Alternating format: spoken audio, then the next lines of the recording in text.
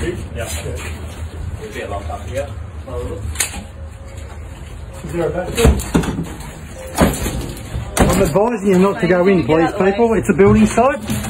Yeah, we're here. Like I said, investigating a family violence incident. There is no family violence incident. The woman attacked. The woman attacked me. Mate, you need to get out of the way, okay? Uh, it's my building site, love. I'm responsible, and it's my duty of care to make sure that nobody gets injured on this site. And that's law, and you should know that as police officers. Okay, Rodney. I've just got a video. of This, uh, if one of you get hurt, you've been advised. First time we're all recording. Yeah, well, that's all right. I'll record it as well.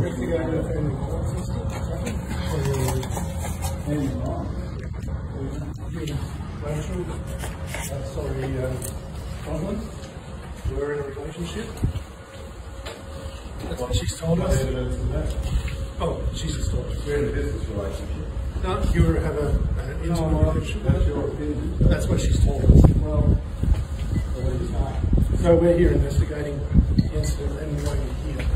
So that, well uh, you need to ring Sophia. Um, uh, Rosie Cornell, can you ring the lawyer? Yep. She's representing the family